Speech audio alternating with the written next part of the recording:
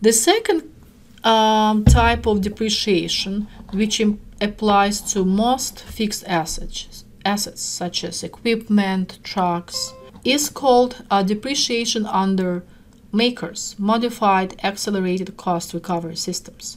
Essentially, the way we calculate the annual depreciation, the accumulated depreciation over n years, and the remaining book value um, at the end of the nth year are the same as for the straight line depreciation. The only difference is uh, the depreciation is not the same each year. So it's not the same percentage of original value that would be lost every year. It's a different percentage. Um, the part of the term accelerated refers to the idea that a lot more value is lost early on when the asset is put into use than later on um, towards the end of its economic life. So we don't get like a straight line uh, between the remaining book value points. Um, you know, for each year, we get a curve. It's steeper in the beginning and then it gets flatter and flatter.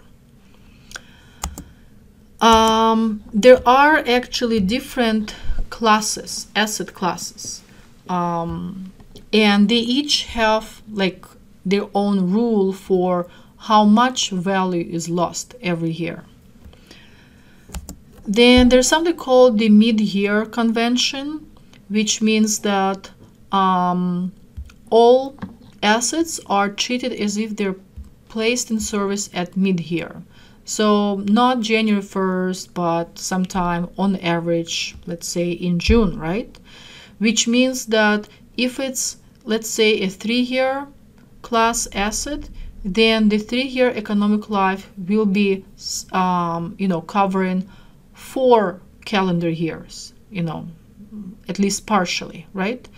And so when you look at, um, you know, an example of these tables that I was mentioning, let's say a three-year property class, a five-year property class, a seven-year property class, you will notice that for um, the three-year class, there are depreciation rates not for three but for four years. For the five-year class, you see depreciation rates over six years. For the seven-year class, we see eight depreciation rates for eight years. Um, so it's always given which property class our asset falls into. Uh, let's say problem may say it's a three-year property class. In general, in real life, uh, this would be special tools for manufacturing, equipment used for research. Five-year property class assets include things like computers, monitors, printers, refrigerators, cars. And seven-year property class uh, includes assets like office furniture and equipment and most industrial equipment.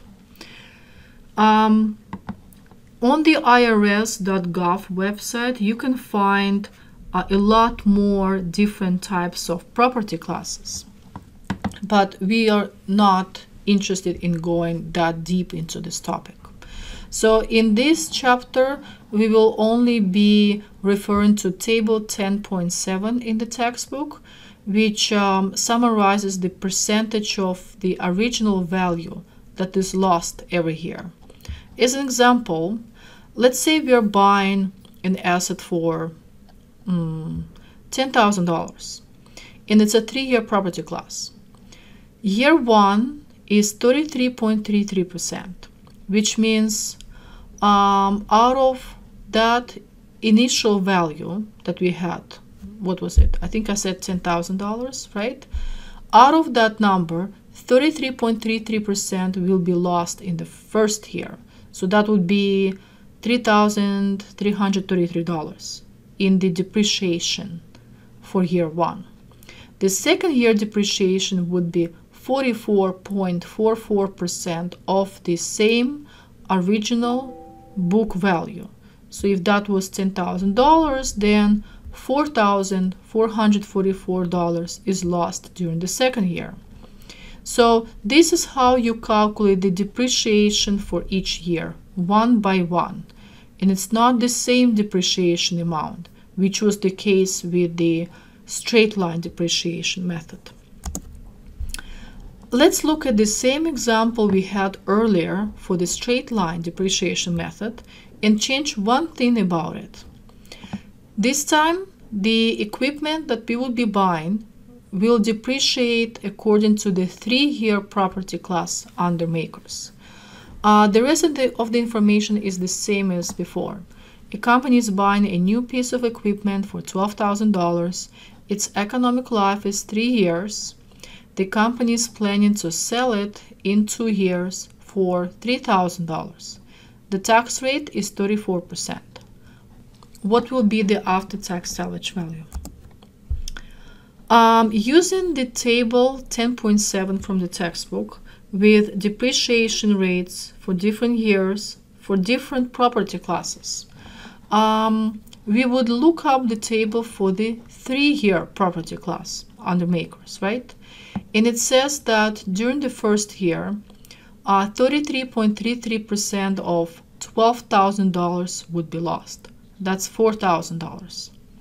During the second year, 44.44% of $12,000 would be lost during the second year, right? Which is $5,333. Then 14.82% of $12,000 will be lost as depreciation during the third year, and so on. We don't um, really need to go uh, all the way through year 3 and 4, we can actually uh, only do years 1 and 2 because at the end of the second year this equipment would be sold, right? Um, so what do we need to calculate after finding the annual depreciations for years 1 and 2? We add them up, that's the accumulated depreciation over the first two years. So $4,000 over the first year plus $5,333 over the second year equals $9,333 over the first two years. When we subtract $9,333 from the initial book value of $12,000, we get the remaining book value at the end of the second year, $2,667. And notice how the value drops unevenly over the, um, you know, economic life of this equipment.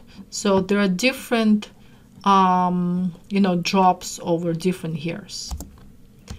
What do we do next with this information? We then uh, can calculate how much money we get to put in our pocket when we sell the equipment after two years. We will be selling it for $3,000, which is given, and that's more than the remaining book value at that time, $2,667. This is the situation that we call a tax liability because it's like you're selling something for more than it's worth. You're selling it at a profit. You will be taxed on that. And um, I also had an explanation of one, on one of the earlier slides uh, about how this implies that um, the company has been paying too little in taxes over the two years. So, how much liability are we going to be facing?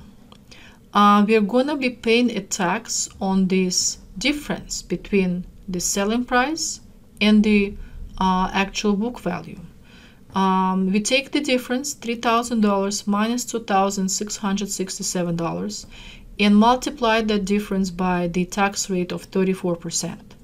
This gives us the tax liability of $113.22.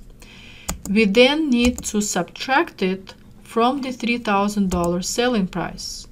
And when we do that, we will get the correct estimate for how much money we will get to keep uh, to ourselves or the after-tax salvage value and that will equal $2,886.76 $2.78.